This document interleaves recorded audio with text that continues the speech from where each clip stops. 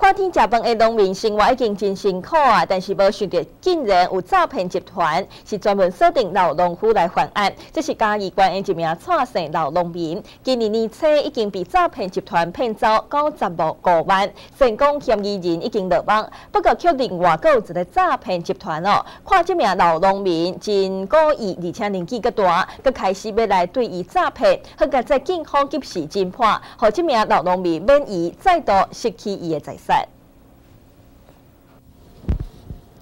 设下粉红陷阱的诈骗集团，先由敲电话的女主，结行关怀开讲，再再逐步提升为男女之爱，甚至含老农夫公告要计错，低输掉被害人，一步一步踏入陷阱，家己阁唔知影。最后面临崩溃的命运，警方表示，老农夫先后被诈骗九十五万块，但是错失老农得次被骗之后，依然无提高对着诈骗集团的戒心。诈骗集团成员搁再以拍破化妆品爱赔钱为由，要搁诈骗老农夫二十万块，都是含老农夫一直咧高铁车站来交钱。因为这是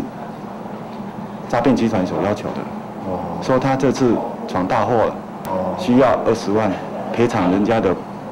化妆品。哦，种种理由。对，种种理由，因为这种理由在这个老翁的身上没有重复过，所以老翁容易做相信。因为上次受骗的理由都没有重复过。哦。哎，所以说他们推陈出新，所以说老翁诶很容易受到上当。警方接获沙埔之后，前往高铁站排复三点外钟，一直到昨暝六点四十五分，才发现这名老农夫诈得二十万块现金，要交予王姓车手。警方随即向前抓人，